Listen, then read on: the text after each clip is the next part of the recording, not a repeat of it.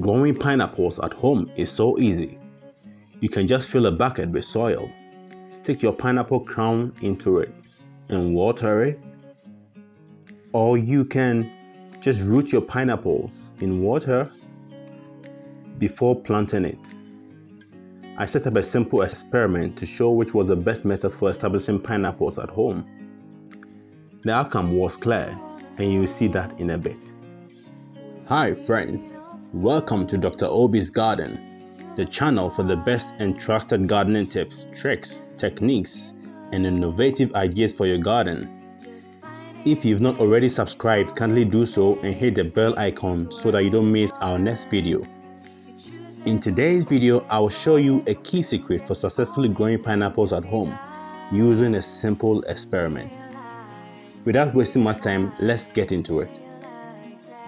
For this experiment, I had two treatments, each with three replicates. Treatment 1 involved rooting pineapple crown in water. Treatment 2 involved directly planting pineapple crowns in the soil. I prepared all the crowns the same way by peeling off the small leaves at the bottom of the pineapple after curing them for 3 days. Then, for treatment 1, I cut some water bottles into two and filled the lower half with tap water. I put one crown in each of the three half bottles, making sure the bottom and parts of the lower leaves were immersed in the water.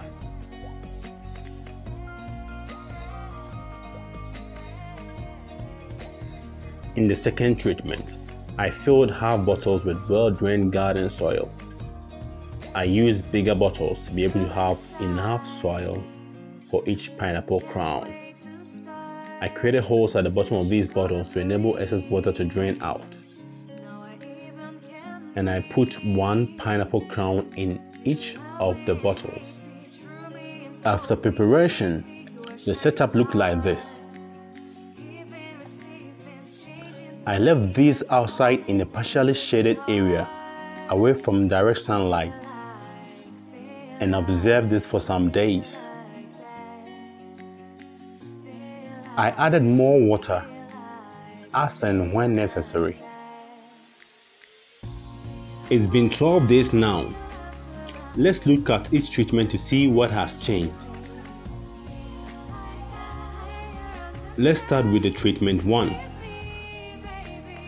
You can see that some roots have emerged from the lower portion of the crown for all three crowns that were in treatment 1. Let's look at treatment 2, the crowns that were sown directly in the soil. Oh, okay, so there's a big difference here. We don't see the long roots that were seen in the treatment 1 here. You can see very tiny roots emerging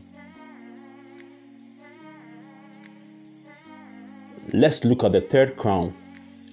Oh no, this seems to be rotten. This kind of rot is common among pineapple crowns that are not treated with fungicide before planting. To summarize, each of the crowns in treatment 1, which were immersed in water, developed nice shoots, the longest root being about 5 centimeters long. On the other hand, Crowns in treatment 2 that were sown directly in soil had tiny roots or no roots at all. Now it's quite clear. There is no doubt that rooting pineapple crowns or tops in water before sowing is the best method for giving your pineapple plant a head start. The roots can hit the ground running by absorbing nutrients and water for rapid growth of your pineapples. If you enjoyed this video, like and share it with friends and family so that others can benefit from it. If you're looking for a complete and detailed guide for growing pineapples at home, I actually have a more detailed video on this coming up so you can subscribe to this channel in order not to miss it. Thanks for watching and see you in the next video.